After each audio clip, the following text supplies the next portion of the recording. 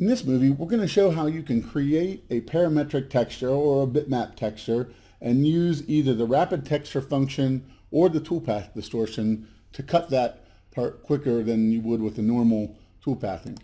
So uh, first let's come here and let's just create a, a shape. We're going to do a 30 by 20 rectangle. And now I'm going to come here and apply a a flat, no thickness relief add will, and many of these will do the same thing when there's no previous relief on the contour.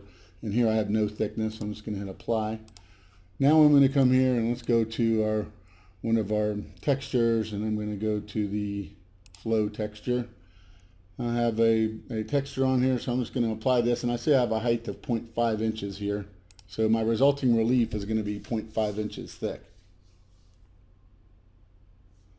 All right, now we'll take a look at this and see that we've uh, we've added a texture now to this this contour, and we're going to uh, attempt to cut it out a little quicker. Now, the first way you could do this is by using rapid texture. And if I'm going to toolpath this normally, I'm going to select this part. I'm going to go to the hatch fill, select a ball nose tool, perhaps a half inch or 3 8 inch tool, and then do it all with a 90% overlap. So at a half inch and a 90% overlap, you're going to you're going to move over 0.1 or 0.05 in each pass. So with a part that's 20 inches long, you're going to have a lot of passes to cover this material. To use rapid texture to do this, first of all, I'm going to make sure that I've noticed that this, this material or the relief is still on top of the plate. So that's how you want to do it when you're using rapid texture to, to uh, create a, a toolpath, more or less, for a, a 3D relief texture. Uh, now I'm going to come here and go to rapid texture. I'm going to make my panel size 30 by 20 and I'm going to have a little overcut here 0.2. Now I'm going to go the, to the displacement and I kind of want this to be more or less true to a toolpath so I'm going to have a longer wavelength. I'm not going to move too much from my horizontal amplitude. I'll say 0.12. Uh, for my offset I can do, you know, again depending upon the bit size I'm going to use, I'm going to do a half inch bit, so I'm going to say 0.12 here. And then we're going to do noise and randomize. Now as far as the depth, we, we want to keep it closest as possible to the surface and not introduce any kind of a, a depth variation, then I'm going to put a pretty small vertical amplitude value. You know, I could go as, as small as I want there. All right, now we've got these parameters. Oh, and one thing we should have done before we went to that tool is we need to select both the relief and the rapid texture seed contour. Now that I have both of these selected, um, it, it'll remember all these last parameters I put in here. I'm going to hit apply and the toolpath or the, the rapid texture contours it created will take this texture into, uh, into consideration. So now I'm going to come here and just apply my half inch ball nose tool. Say 0.1 for the depth, follow contour, and of course I'd set my feeds and speeds if I was really going to cut this. Now let's simulate this, and let's zoom in here. And uh, we have a part in here. That's our, our relief. So I want to kind of select this other piece. So I'm going to uh, just move my down arrow once, select this, hit Control X,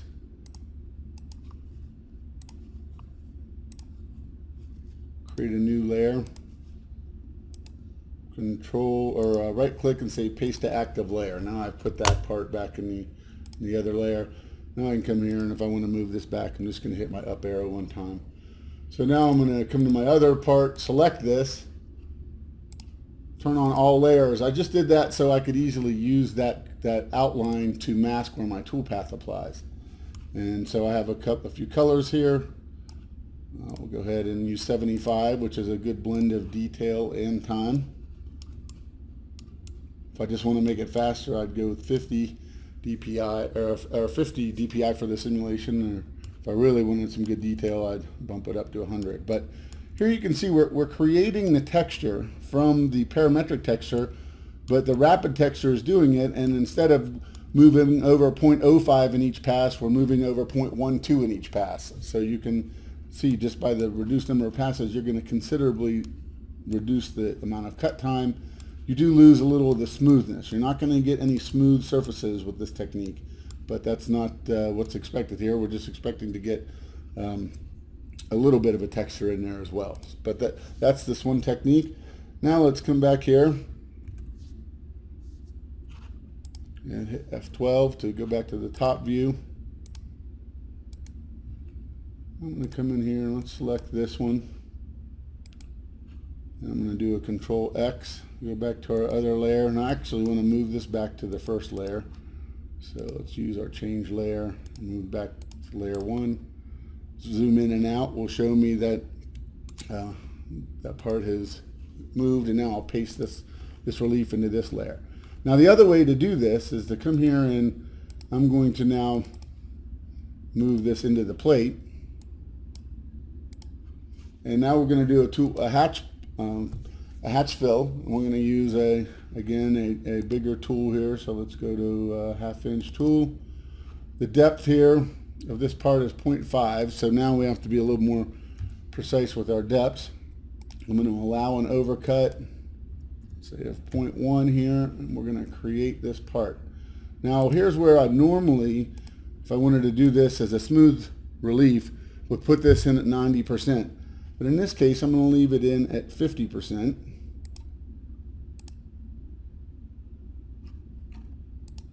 Now I'm going to come here and go to Toolpath, Distort Toolpaths. And we're going to put a little wavelength in here let's say of 2 jitter 0.1 we're going to say 0.125 just so we don't move too much with our horizontal amplitude. And vertical amplitude we'll put 0 and we'll hit apply here. So now we've uh, we've made it so that we're cutting this at a 50% overlap instead of a a uh, 10% overlap or, or 90% overlap, excuse me, 10% step over, but a 90% overlap. So the, the amount of cut time is going to be very much reduced here. Now, this time, let's just say, make the plate the same size as my selection. That way, when my plate is that size, then I'll just won't worry about masking where this simulation occurs, and we'll just make it happen inside the plate.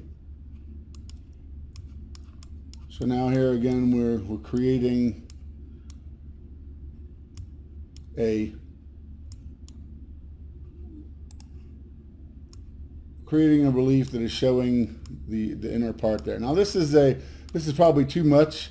Uh, I might I might want to decrease this to or increase the step over to maybe 75%. But uh, at 75% with that little wiggle in there, then we're going to start to, to be able to see the texture more and more um, and that distortion will allow it to fully cut the part and, and add a secondary type of, of um, texture in there. Right, so let's come here one more time. I think that was just a little bit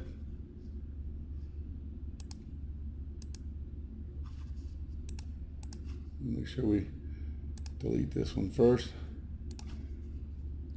Let's go back here. Let's change this to 75. Even at a 0.75, it's going to take less time than if we were to be doing it at at um, a 0.9. This looks like even less than that. That'd be 0.75 overlap.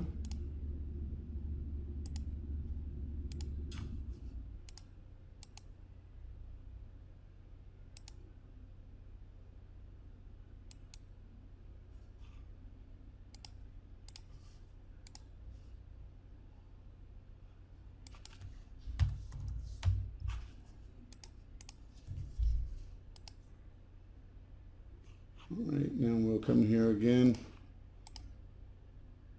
So now I just don't think that's,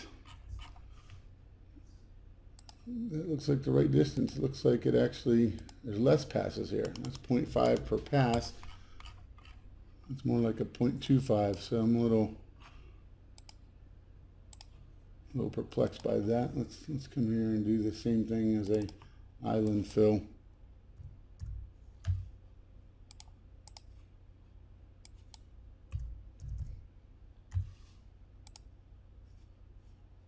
Well,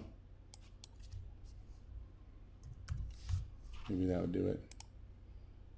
I was thinking of adding percentages, uh, but I want to add a full number here. That makes sense. All right. So now we've got a 75. And now I can zoom in here. And still, uh, 75 is going to take a lot less time than 0.90. Now we'll do this distortion. It remembered my last settings there, so I'm going to use those. And let's try this one more time.